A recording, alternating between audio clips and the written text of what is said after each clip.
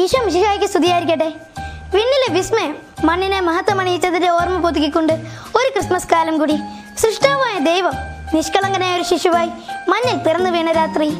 ഇന്ന് ലോകത്തിന് നഷ്ടമായിക്കൊണ്ടിരിക്കുന്ന നിഷ്കളങ്ക പാവത്തെ വീണ്ടെടുക്കാൻ സകലരുടെയും മേൽ നിഷ്കളങ്ക സ്നേഹത്തിന്റെ പെരുമഴയെ പെയ്തിറങ്ങിയ ഉണ്ണി മിശിക അനുഗ്രഹിക്കട്ടെ എന്ന് ആശംസിക്കുന്നു പ്രാർത്ഥിക്കുന്നു. ആമേ